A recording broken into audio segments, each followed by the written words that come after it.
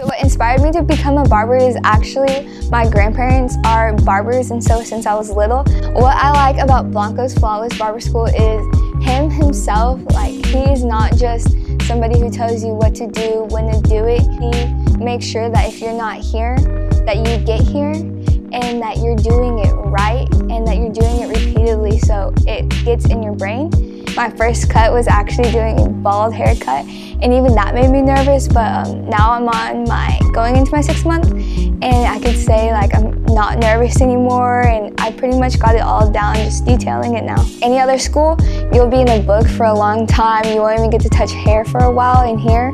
it's like you get to it. He is not just a barber school, he is a business guy and he will set you up for the rest of your life. For barbering, I want to follow along with Blanco himself and actually um, go work at one of his shops and continue with him because he knows what he's doing and he knows